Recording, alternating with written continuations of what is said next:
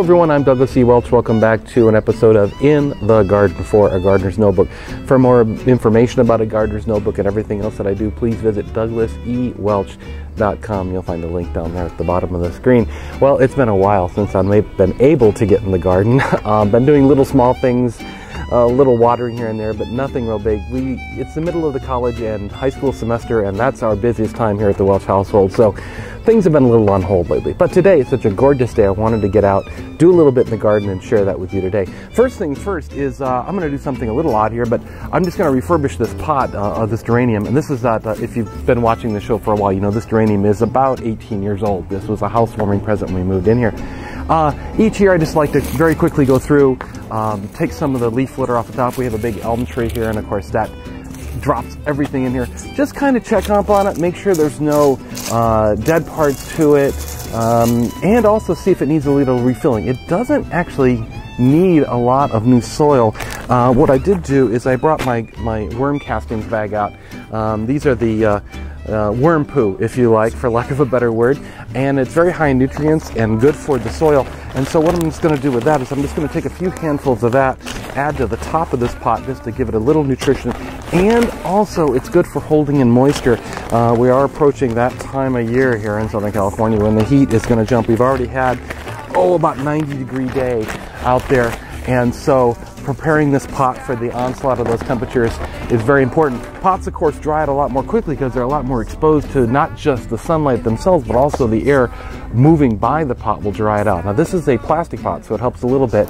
It doesn't uh, lose as much through evaporation, but with any clay pots, they can lose a lot of water uh, in a very short period of time. And in fact, you'll actually notice scales start to form on the outside of the pots, showing you exactly where that evaporation is happening. So that's pretty much it. We're going to add some worm castings to this. Uh, I decided not to take it down off the house uh, to work on it because I could get right up on it. Uh, typically, it might be a little bit easier if you set this on the ground and do this on the ground, but in this case, it worked out fine. Now, uh, another few minutes here, and it's on to some other jobs. And here, checking in on our potatoes and etc. bed. Uh, you see the society garlic is going gangbusters in the front. That's really a decorative, although you can use it for culinary purposes. It's flowering very nicely. I've seen people put those flowers in salads and stuff. We might actually try that. Uh, the big success here are the potatoes. You can see here, here, here. Uh, potatoes are just going crazy in this bed. We're going to hill those up a little bit, add a little more soil to those, but we're really happy to see that. Uh, you can see the lavender in this little cages. I think at this point we're ready. We're going to pull the cages off. They're well established enough now. They're going to be fine on their own, even with the animals digging here. So um, we'll be able to use those little cages uh, for whatever new thing we plant in other areas of the garden.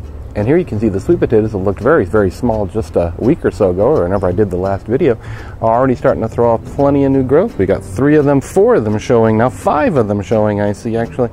So soon this bed will be covered with vines, just like the one in the back there, and the one in the back will soon be ready for harvest as well.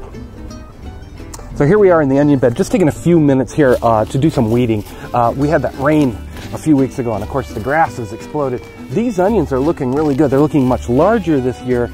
There's fewer of them, which is probably why there's larger ones. We probably overplanted last year, but I'm just going through and pulling out some of the grass. There's also this native, uh, actually somewhat native dayflower that's growing. Don't mind it along the edges here, uh, but don't want it growing in the middle and competing with the onions. So thankfully, it's pretty easy to get it out, as is with the grass. This bed is pretty well prepared over the last couple years here now. So the big trick here is not to pull out the onions while you're uh, trying to do the weeding. Of course, that's always the case with your weeding and why young children aren't always the best ones to do your weeding with you because they sometimes have little trouble to start discovering or deciding what is a plant and what is a weed. So, uh, so this will take another oh, 10, 15 minutes probably. Again, just a quick job you can do in the garden uh, at any time of day. Just so happens I'm out here filming so it's a great time to catch up on it. So in here, we've got one of our containers has actually been empty for a little while. We harvested the last of the carrots out of here a few weeks ago. And again, I haven't really had time to get in here and really mix things up really well. Take all the elm seedlings out of here. They do pop up everywhere. Um, so what I'm going to do in here, just going to put on my gloves here in a minute and turn this over. Let's do that real quick. Um, I decided what I'm going to do in here is I'm going to put carrots back in here again, but carrots take a long time to grow. Um, so what I'm going to do is I'm going to plant a shorter growing crop kind of on top of them. Let's turn this all over here. Um, and that's going to be green onions. I've tried growing green onions in the ground here, and it hasn't done very well.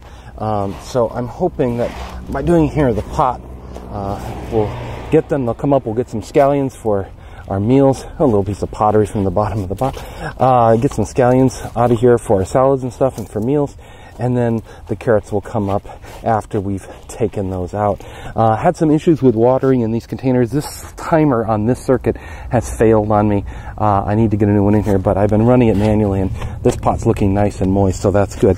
So all we're gonna do is we're gonna start off with the carrots here. We're just gonna broadcast the carrots just like we did before. And uh, that's the last of that pack.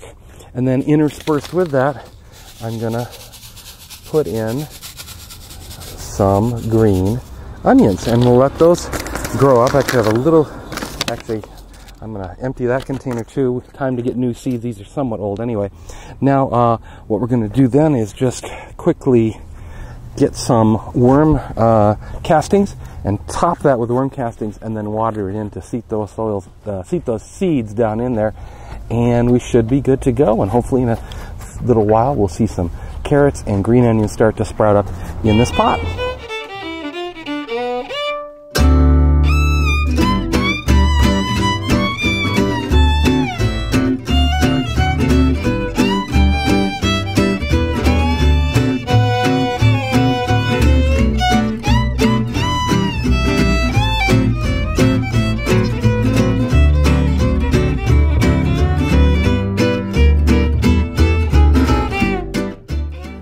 And that's it for this episode of In the Garden for A Gardener's Notebook.